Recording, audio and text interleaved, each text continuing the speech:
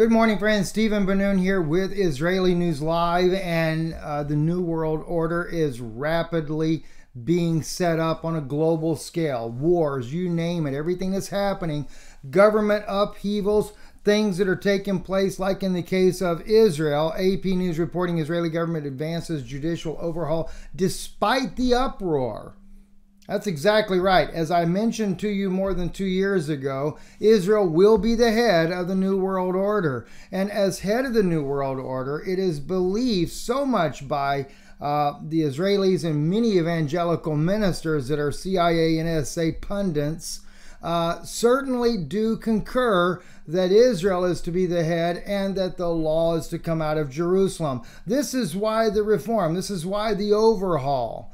And uh, the states here in this article here Prime Minister Benjamin Netanyahu's government on Tuesday, for the first time, advanced a plan to overhaul the country's legal system, defying a mass uproar among Israelis and calls for restraint from the United States. Well, the United States is only doing that for lip service. The vote marked one preliminary approval for the plan, but it raised the stakes in a political battle that drew tens of thousands of protesters into the streets sparked criticism from influential, influential sector of society and widened the rifts in an already polarized country. The 63, notice the vote though, 63 to 47 vote after midnight gave initial approval to a plan that would give Netanyahu's coalition more power over who becomes a judge. It is part of a broader package of changes that seeks to weaken the country's Supreme Court and transfer more power to the ruling coalition you have to understand, I told my wife from the very beginning about this here that when it comes to uh, what's happening in Israel, the one thing that they're going to do is they must first, they must first bring down the Supreme Court so there can be no opposition. And that's exactly what they're doing in Israel. Uh, I can only imagine what's going to happen in this country as well in the not so distant future there. Uh, let's move on though. Netanyahu also is saying that he is ready to strike nuclear facilities after a secret meeting, according to the report there. I want to play just a little clip here of where he's talking. He's actually beginning to talk about Russia and Putin and their relationship there in the beginning of this. Uh, because, like I said, don't kid yourself, Israel does have a relationship with Russia. And in fact, I'll be doing a special broadcast on Patreon today about how the government agencies and things of that nature there, the biblical side of their fight.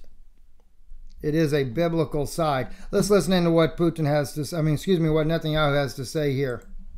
Putin and to have our military speak with the Russian military to avoid these clashes, to reserve our the freedom of action of our Air Force against Iran's attempts to implant itself in uh, Syria and open there a second Lebanese front against us, a second terror front, like the one they have with Hezbollah, which is a wholly owned Iranian proxy. And it's been successful. We've had hundreds of sorties in uh, Syria to prevent Iran from implanting itself militarily.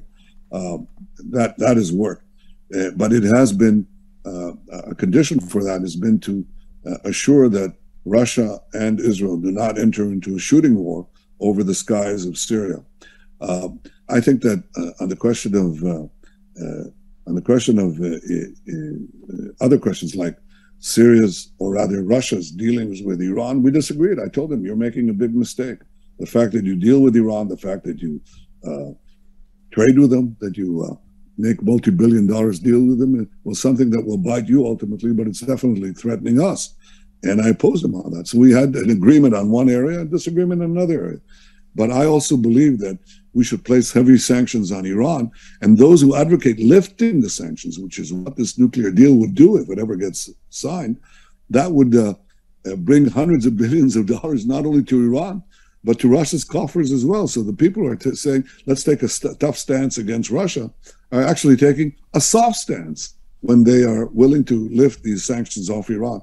I, I want to mention here and, and, what I'm watching as we see how this is unfolding and, and being built up. And also want to thank uh, uh, Sister Rosa as well as Charles on Twitter there uh, for sending some of this information uh, and Lior as well out of Israel. Uh, Lior just sent me another one there about uh, Iran smuggling weapons in under the guise of uh, the Turkish earthquake there under humanitarian aid. Uh, but uh, and then of course Elizabeth as well. So the situation that I'm watching though steadily though is a complete buildup of a new world order.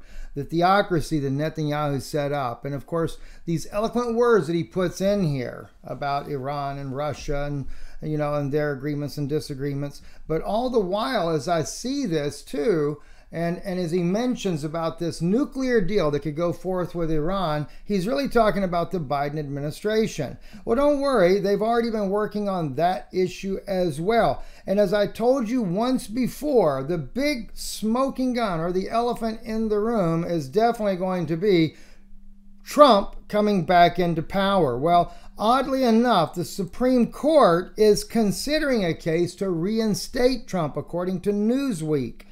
Uh, this article here that was published here on uh, uh, just a few days ago on the 17th of February 2023, today, of course, being the 24th of February, said the U.S. Supreme Court is set to consider whether or not to hear a lawsuit that speaks to remove President Joe Biden from the White House and reinstate former President Donald Trump to office. I don't know if we mentioned this over on Patreon, if we've mentioned this on this broadcast here, but I we have we have stated somewhere that the elite have already asked Biden to step down. He has refused to do so.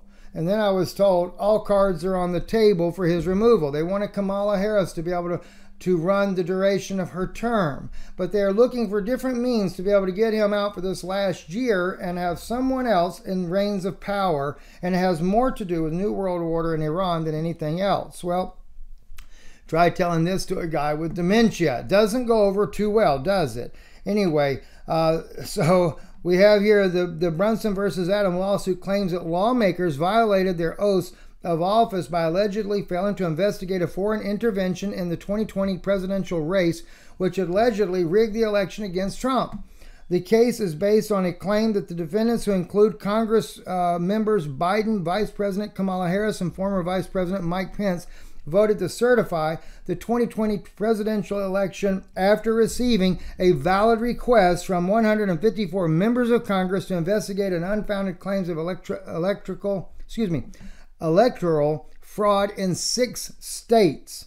The Supreme Court declined to consider the lawsuit on January the uh, 9th, but the plaintiff, Roland Brunson, filed an appeal on January 23rd, and now the court has to reconsider whether or not to hear the case. According to an update of the SCOTUS website that, that read, the lawsuit was distributed for conference on Friday. Hmm. Wouldn't that be interesting? And then you would have the duo, Trump and Netanyahu, once again. What would they be considered? The two witnesses? Who the who knows? I already know that many of the Jewish rabbis consider that they are the two messiahs, the Mashiach Joseph and the Mashiach ben David. So I can see how that could certainly play to Israel's favor, especially leading up to a one world government. So that's where we're looking at right now. And, uh, well, also, the uh, Western Journal reporting Israel informs Biden's admin is prepared to attack Iran's nuclear program after extremely grave development. So, the Israeli Prime Minister held a series of secret meetings with top military officials over preparations for possible attack on Iran's nuclear facilities, according to the Israeli broadcaster Channel 12.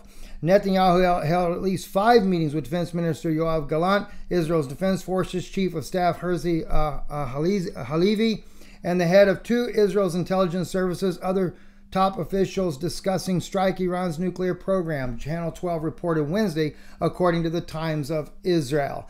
Uh, these things are definitely starting to develop. They're going to develop very rapidly. And of course, ultimately, they got to bring out the big Satan, the Gog of Magog war, the, however they want it to play out. Okay?